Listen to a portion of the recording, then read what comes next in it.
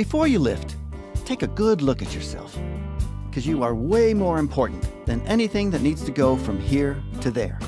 So before you lift, take good care of yourself by taking the time to do it right. Start by looking at yourself from every direction and then decide how to best handle that box or piece of equipment. First, know your limits. Decide if you can even lift the object safely. Maybe divide the load into smaller, lighter loads, or place the load in smaller, more manageable containers. Then consider the route you're going to take, how far you're going, what obstacles you might encounter, and where you're going to set it down. Then choose the safest route. Maybe it's better for you to use a cart or a hand truck. Maybe it's better for you to ask someone to help you.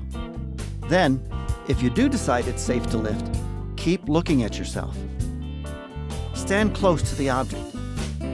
Squat, bending your knees, not your back, keeping your head up and keeping the natural curve of your back. Contract your stomach muscles. Then, lift using your legs, not your back. Turn by moving your feet, not twisting your body. And always keep the load close to your body.